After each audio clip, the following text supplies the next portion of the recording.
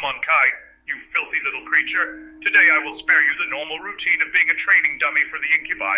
Today I will read to you the glory of one of our favorite pastimes, CBT, cock and ball torture, CBT, occasionally known as penis torture, dick torture, or male genitorture, is a sexual activity involving the application of pain or constriction to the penis or testicles. This may involve directly painful activities such as genital piercing, wax play, genital spanking, squeezing, ball busting, genital flogging, urethral play, tickle torture, erotic electrostimulation, kneeing or kicking. The recipient of such activities may receive direct physical pleasure via masochism, or emotional pleasure through erotic humiliation, or knowledge that the play is pleasing to a sadistic dominant. Many of these practices carry significant health risks. I hope you are ready, Mon-keigh, for this will hurt you more than it will hurt me.